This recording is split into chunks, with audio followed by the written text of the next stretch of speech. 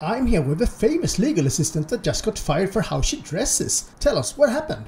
They said I took too long to fill out forms in their computer system. Maybe because you can't see?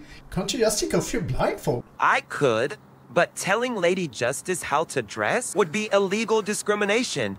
I know my rights. Right. Then I heard you scored higher on legal exams than 90% of people in that firm. Exactly. Besides, I'm actually blind under the blindfold. Because, hello, I'm an AI bot. They even knew that before they fired me. I told them, I'm blind under the blindfold, Karen. Wait, so you're legally disabled and they fired you instead of making adjustments? This changes everything!